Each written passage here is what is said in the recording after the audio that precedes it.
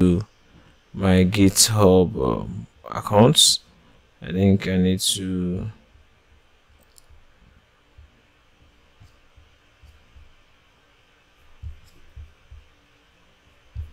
sorry.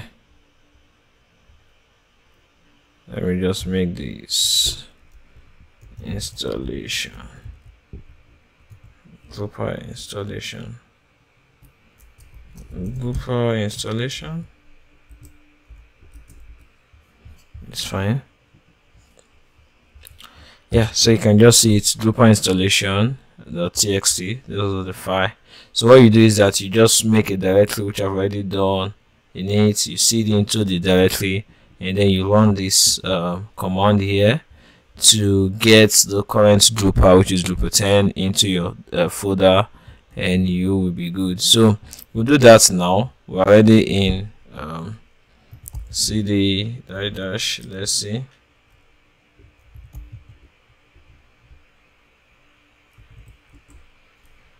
Um okay. This directory is 10 let's just pick it and go to finder services. You run on a new tab. So we're there. What we just do is clear your cd you can decide to go that way. Um, clear this first. Make directory and then cd into it and then run this. So let's just do that. Let's make directory called Drupal inside that Drupal 10 and then we'll cd into Drupal. And then the next thing we'll do is I will run this command in it so what this command will do it is almost same is going to go straight and pull out uh, most of our Drupal scripts into our folder. And in that folder we can as well access all the activities or um, commands that are in the Drupal line. So once this is done let's go let's uh, uh, list it and see what happens. You can see all our, our files are in here you have the core the core the site the team all this they are all here. So for that to happen if you go to, to the directory just to confirm we have Drupal 10 then we have Drupal you can see everything is here. Also your index.php is also here. So this is what runs it at first. So what we'll do here we we'll just go back to our our code our command here we run the server on port 9000 you can run it on whatever uh, port you want to run it. Um, then when you start running it on port 9000 you can go straight copy this go to your browser and hit it up. Enter. So when you do that uh, your Drupal comes up. You can see we're straight to the installation of Drupal 10.0.1 uh, English depending on your language you can select uh, whatever language you're on. And you click next you click uh, next I like standard uh, this thing. Then I already have uh, what's the database name? I think I name it Drupal 10 yeah. Then the root is is root user and then we'll have my password that I have here. I already have it saved. So just enter yours and then click next. Uh, next so if you have a different ports on it just click advanced to go into the port or the host. If the different host let's assume you want to you're hosting it on uh, Postgres server in AWS or DigitalOcean or wh whatever channel you click on it enter the port enter the um, host here and go straight to next I'm running it on my local machine. So it goes straight straight down down. You can see the installation is going the installation is going. And then it takes me to the site. So you just say uh, Drupal 10 installation um website. So my email um okay this is fine username I can just say um, can I just say EY um, passwords and just y.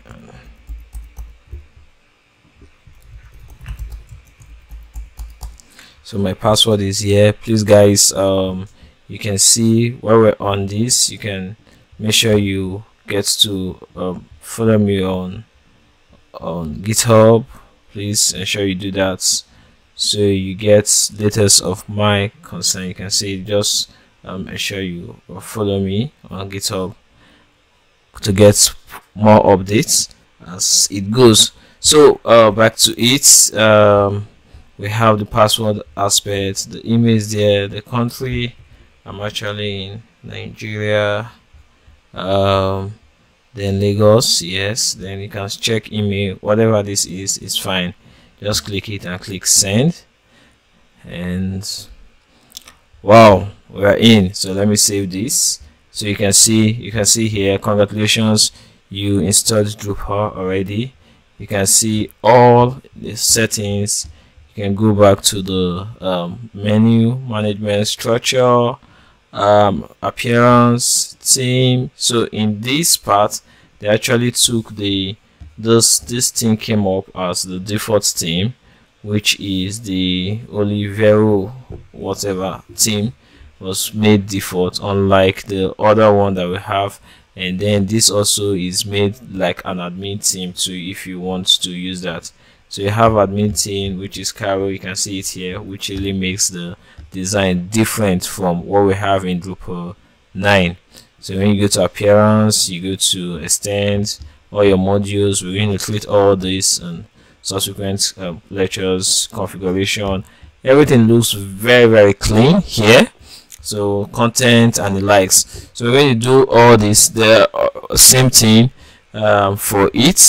So this is for installation for Mac um, two other things that I'm going to uh, take us through is your MySQL in case you want to start your MySQL on your local machine. So you want to see the startup when you when you start you want to see the um, link to just start it up.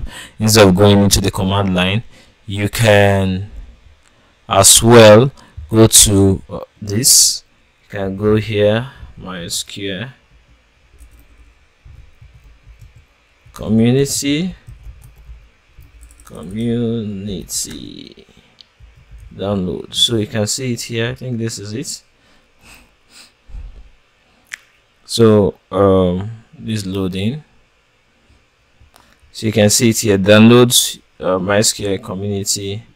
I just put this also on my uh, gist this part installation of this. Let me add it to it. So this so we have this on the MySQL too. So in case you want that you can just do download.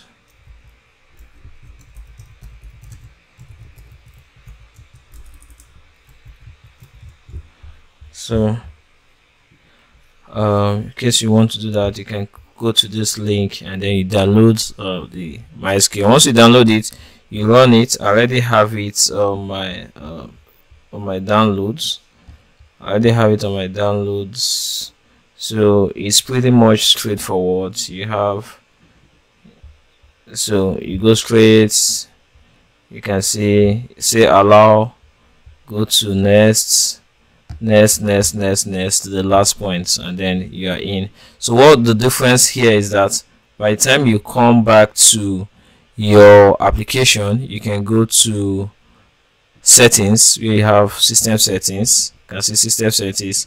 Underneath here you see MySQL so you can come in here and then stop your service and start it whichever you initialize your databases or install uninstall it. So it's always here where you want to use it. So you just come to settings part and then you have your MySQL to run. So there are two ways you can also set this up. So you set your MySQL also set um, these parts up.